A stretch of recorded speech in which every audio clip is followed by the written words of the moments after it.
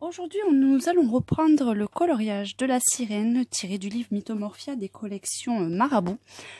Et euh, je vais juste attaquer euh, la partie du corps.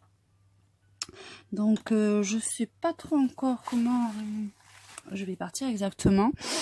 je pense que je vais la faire couleur chair et puis rajouter des petites pointes de turquoise et de, et de rose un peu plus foncé. Donc déjà pour commencer, je vais colorier la totalité du visage avec le crayon euh, polychromos, c'est le numéro 132.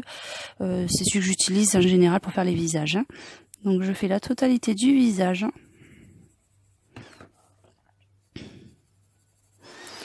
Des.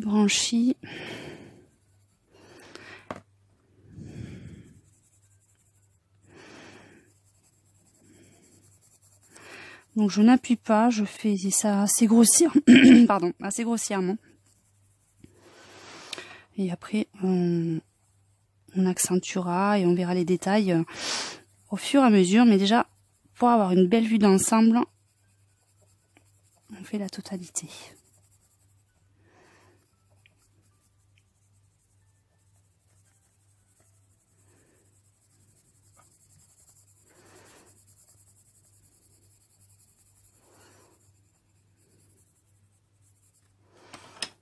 Donc comme pour les visages, je vais marquer les ombres.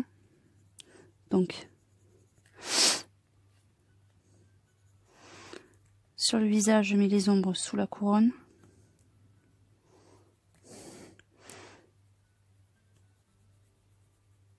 À ce niveau-là.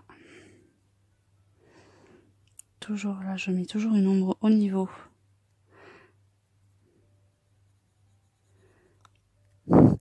l'arrêt du nez.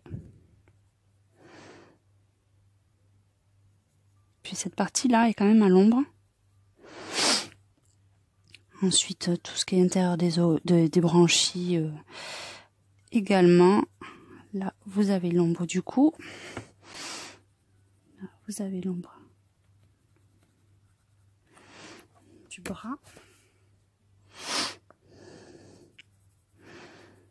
Vous avez pas mal de parties à l'ombre sur, euh, ce personnage. Là, sous le bracelet aussi. Hein, c'est quand même assez à l'ombre. J'en ai là aussi. Là, l'épaule est à la lumière. Et à l'ombre, je vais mettre aussi cette partie un petit peu là. Et le pli en dessous.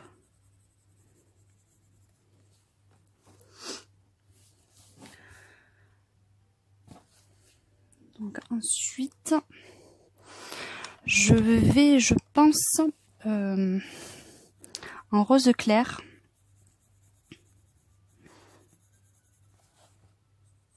Faire l'arrêt du dos. vous avez, voyez, cette partie-là qui va être colorée plus tard, je pense, dans les tons arc-en-ciel comme on a fait. Et donc, il faut quand même une petite transition, je trouve, euh, pour apporter, pour aller venir après euh, sur euh, sur cette partie-là. Donc vous voyez, toute cette partie, tout début, je vais la faire en rose. Et je ferai pareil si on avait la, la texture des cheveux. La première partie, euh, je la ferai également en rose. Donc là, je n'hésite pas un peu à aller sur le dos et, et quand même bien marquer le, marquer le rose pour vraiment bien l'accentuer. Alors là, j'hésite. Je pense que je vais le faire aussi. La partie, partie des bronchis. Je vais la marquer aussi un petit peu en rose, un peu plus foncé. Et cette partie-là aussi, là. Vous avez euh, des petites... Euh, sortes de petites écailles que j'ai envie de faire un petit peu ressortir. Et pourquoi pas, ce qui pourrait faire sympa, la pointe des branchies, euh, des oreilles euh, du personnage. Je pense que ça pourrait être assez sympa. Donc là, je marque bien le rose, encore une fois. Cette partie-là aussi. Je vais repasser euh, la totalité du corps avec la couleur la plus claire. Maintenant.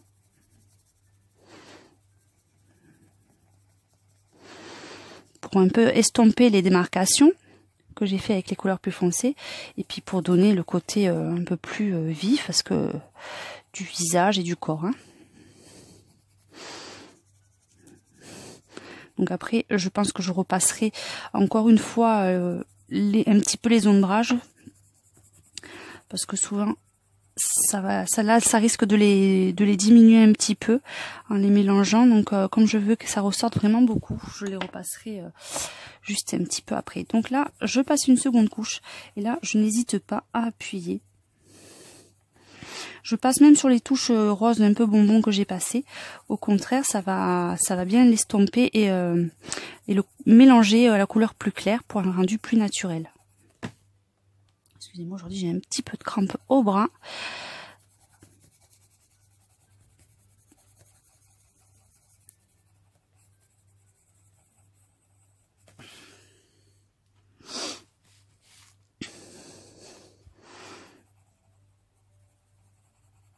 Donc je veux quand même qu'elle garde un côté, assez naturel. J'hésitais à la faire bleue ou, une autre couleur, mais je voulais vraiment que le corps reste naturel et que toute la lumière et tout le tout le côté plus gai, plus girly sorte sur le sur la queue de la sirène.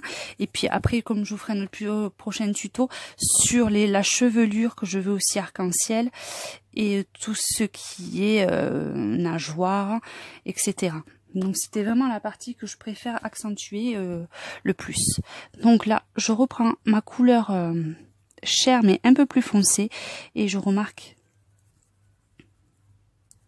un peu plus les ombrages pour bien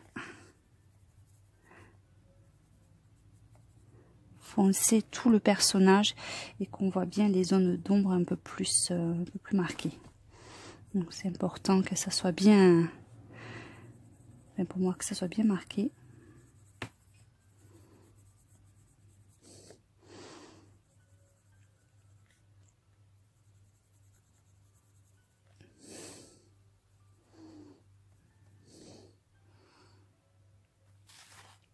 Donc c'est vraiment important.